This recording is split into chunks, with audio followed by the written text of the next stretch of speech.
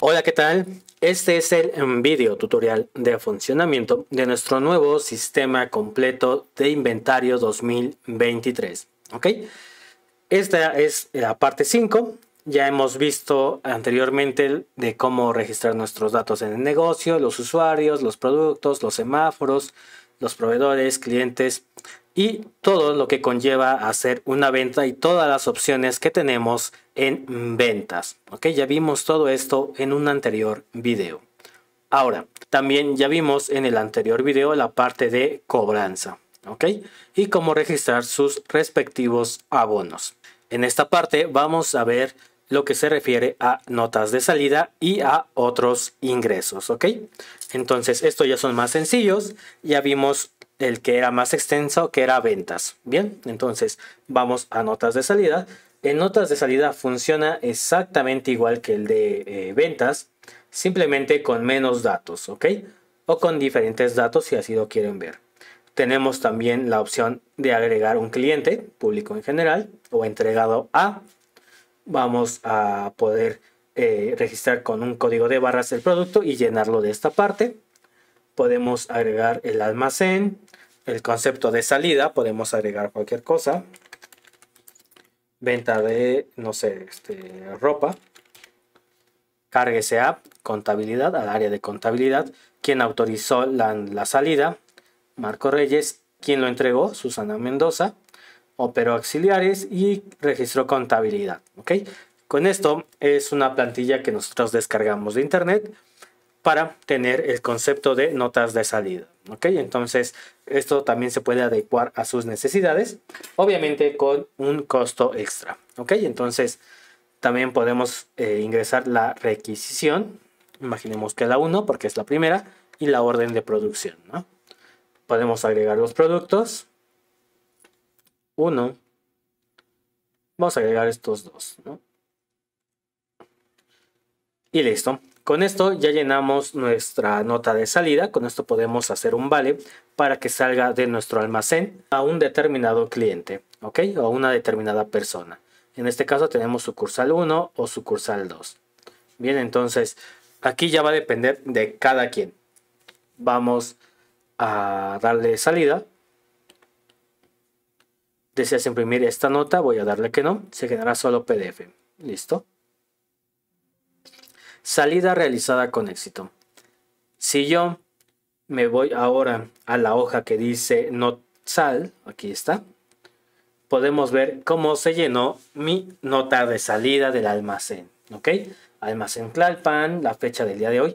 Ojo, es importante, no lo había mencionado, que todas las fechas en cuestión a ventas, compras, notas de salida, se van a llenar de forma automática el día que las estamos haciendo. ¿ok? No es como que ustedes puedan poner la fecha, automáticamente se va a ir registrando cuando ustedes le den guardar, ¿ok? O enviar. Entonces, eso es importante también mencionar. Tenemos ya los datos que agregamos, sucursal, y tenemos este formato que nosotros encontramos respectivamente de notas de salidas de almacén, ¿ok? Entonces, así se llena de forma automática. Si yo me voy a mis subcarpetas y ahora voy a la subcarpeta que dice notas de salida, PDF. Aquí se encuentra nota de salida, doy doble clic para abrirla. Y listo, aquí está mi nota ya en formato PDF que yo ya puedo imprimir o enviar sin ningún problema. También puedo cambiar los logos. Recuerden que en donde ustedes vean de tu logo aquí es simplemente una imagen donde ustedes simplemente pueden desde insertar buscar su imagen y agregarla aquí, ¿ok? Sustituirla. Entonces, no hay ningún problema en ese aspecto. Bien, entonces así funciona la parte de generar notas de salida. Si yo me voy de nuevo a eh, mi formulario de nota de salida, me voy a agregar producto, pueden ver que se descontó de forma correcta el stock. Aquí es importante decir que las notas de salida no tienen la opción de caja, ¿ok?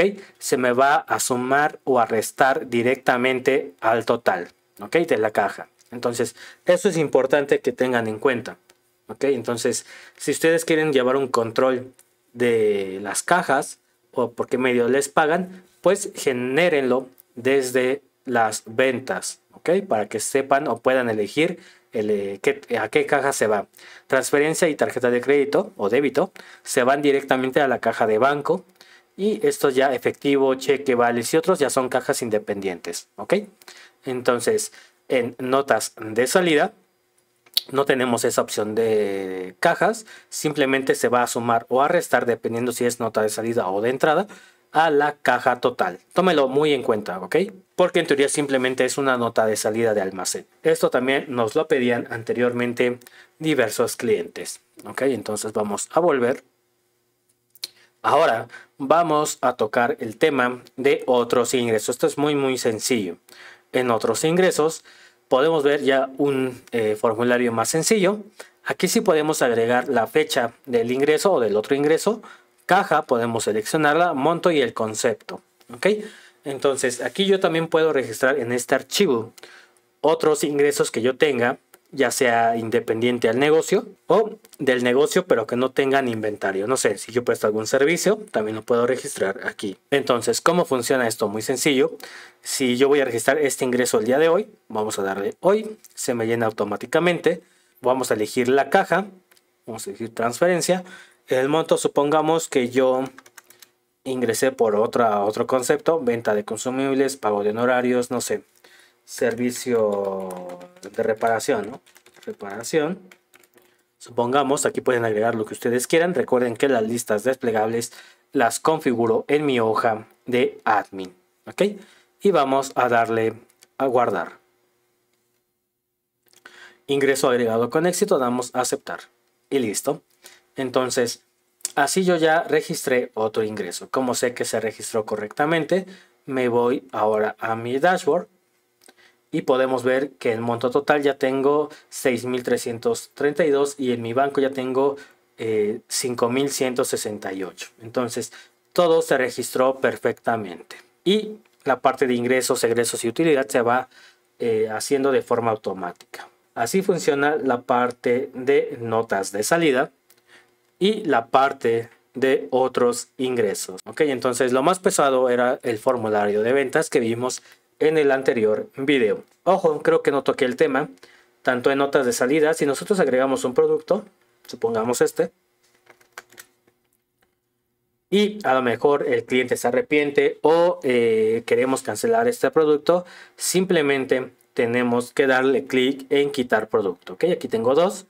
Supongamos que quiero quitar este, doy clic aquí y le doy en quitar producto y listo. Se me resta también la cantidad y ya me queda el único que esté aquí. Bien, entonces así yo puedo eliminar productos de mi lista de compra o de mi lista de notas de salida. Bien, eso creo que no lo había mencionado en el anterior video. Bien, entonces esto sería todo por la parte de notas de salida y de otros ingresos, ¿ok? En el próximo video vamos a estar tocando el tema de compras. Esto es muchísimo más sencillo, ¿ok? Nada más tenemos proveedor, métodos de pago, contado. Así que vamos a tocar en el próximo video el apartado de compras, nota de entrada y otros gastos. Muchísimas, muchísimas gracias por ver este video. Si pueden ver, eh, el funcionamiento es sumamente sencillo y sumamente eh, funcional, aunque esté bloqueado para edición y modificación las macros y algunas hojas, todo funciona de forma perfecta, ¿ok? A nosotros no nos está arrojado ningún error como han podido observar. Bien, entonces vamos a continuar en los próximos videos tocando el tema de compras. Bien, entonces muchísimas gracias y nos vemos en la parte número 6. Hasta luego.